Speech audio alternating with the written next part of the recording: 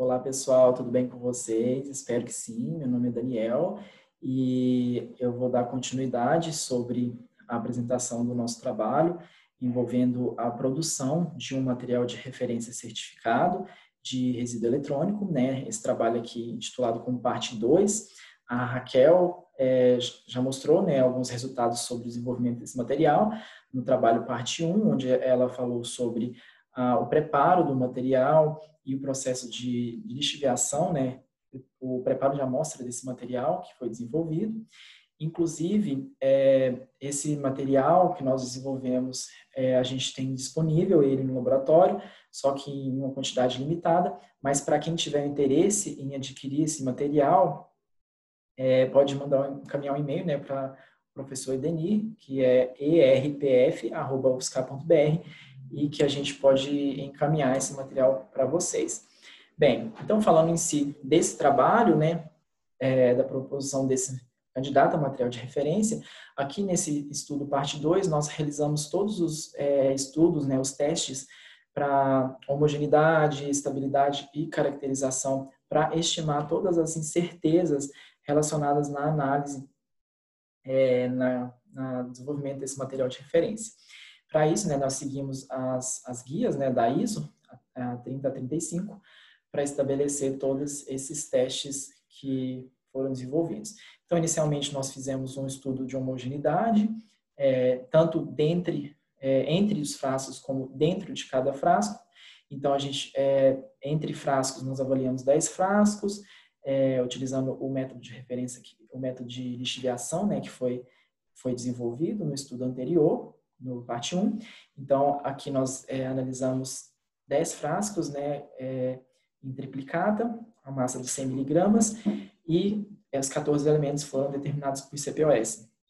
No caso do dentro, dentro do frasco, foi é, selecionado uma amostra aleatória desse conjunto e 10 subamostras foram analisadas. E a partir desses resultados foram calculados todos os, os testes, né, por exemplo, a tabela nova, e também foi calculada a incerteza relacionada à homogeneidade desse material.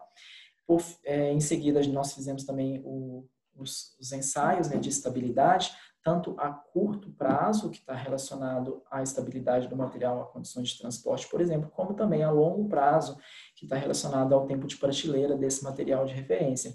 No curto prazo, nós submetemos a amostra a altas temperaturas e umidade, né, para simular essa questão do transporte.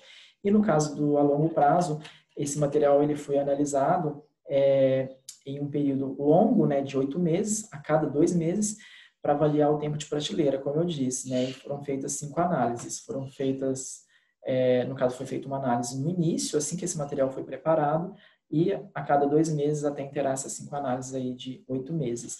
E, claro, também foram calculados todos os testes de, de é, estatísticos, né, para avaliar essa questão da estabilidade e também para estimar a incerteza desse teste. E aqui também foi realizado um ensaio colaborativo, onde nós enviamos esse material para 31 laboratórios é, que foram selecionados, né, de acordo com a competência suficiente para fazer essas análises.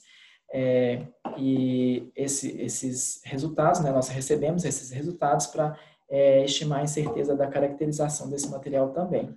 Então, aqui nós reportamos, a, por exemplo, na tabela 1, a questão da é, incerteza relacionada à homogeneidade. Ainda falando sobre a homogeneidade, aqui nessa figura um, nós temos o, os resultados para imagens né, é, obtidas em microfluorescência de raio-x, onde aqui na imagem A a gente vê uma foto real da superfície da amostra, né, do material de referência, de uma pastilha, na verdade, onde a gente consegue ver aqui algumas, é, alguma falta de homogeneidade, né? A gente observou lá no preparo desse material que cerca de 90% a gente tem um tamanho de partícula excelente, né, por volta de 200 micrômetros, mas para alguns elementos a gente observou uma falta de homogeneidade, como por exemplo aqui a gente vê claramente aqui para cobre, alguns é, aqui em vermelho, né, onde a gente tem maior intensidade de fluorescência de raio-x, a gente vê um, uma maior falta de homogeneidade nesse material, aqui também para chumbo. Então, aqui na microfluorescência de raio-x a gente já conseguiu ver essas, essas informações. Aqui na tabela 2 nós temos, por exemplo, a incerteza relacionada à estabilidade a curto prazo, Aqui na tabela 3, nós temos essas certezas relacionadas a longo prazo. E também, né, quando a gente fala da estabilidade a longo prazo, a gente precisa calcular o um modelo linear, onde a gente tem aqui as cinco medidas que foram realizadas a cada dois meses, e a gente sempre procura que esse modelo linear ele seja, ele não seja significativo e a gente não tenha diferença né, entre essas análises que nós fizemos aí durante o, o tempo de oito meses e que aqui na maioria dos casos a gente teve bons resultados né, para esse monitoramento dessas amostras, desses analitos.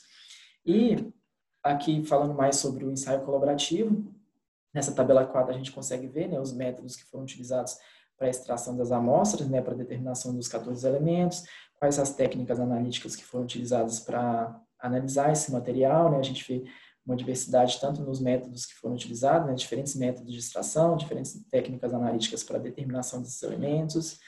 Aqui também a gente tem o gráfico de Z-score, né, que a gente consegue ver o desempenho individual para cada laboratório. Né?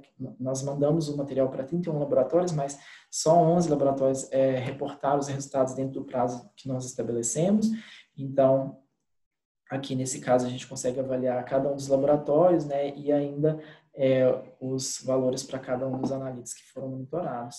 Então, por fim, né, nós calculamos aqui, como mostra na tabela 5, as incertezas de todos os testes, né, caracterização, homogeneidade, estabilidade a curto e longo prazo e a incerteza final. E a partir dos resultados de concentração que foram obtidos, a gente consegue aqui é, estimar a fração de massa de cada um dos analitos que foram monitorados nessas, nessa, nesse material. Aqui na, na figura 4, só a gente mostra rapidamente a questão da contribuição de certeza de cada um dos testes que foram realizados. A gente vê aqui que principalmente a maior fonte de incerteza é do ensaio colaborativo, né, da caracterização aqui em azul e também a questão da estabilidade a longo prazo em roxo.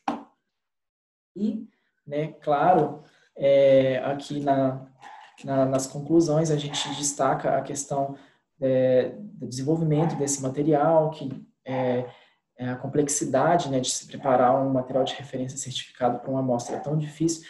A Raquel, inclusive, destaca lá no trabalho anterior, no parte 1, que o, a, o preparo né, já foi um processo bem difícil, o preparo do material, né, a moagem dele, mas apesar de todos a, os problemas, né, complexidade desse preparo, é, a, a, prata e ouro se mostrou é, homogêneo, estável e passou por todos os testes né, que nós realizamos e os cálculos de incertezas e a gente é, conseguiu desenvolver um material, né, um candidato a material de referência certificado para resíduo eletrônico é, para monitoramento aqui de metais preciosos é, e controle né, de qualidade de análise aí de materiais tecnológicos. Então, pessoal, é isso que eu queria mostrar aqui nesse nosso trabalho, no desenvolvimento desse material de referência. É, como eu disse, quem tiver interesse ao material, é só entrar em contato pelo e-mail do professor Denis, que a gente pode estar encaminhando esse material. Espero que vocês tenham gostado. Qualquer informação pode comentar aqui no vídeo também. Curte o vídeo, se inscreve no canal se não tiver inscrito. E muito obrigado.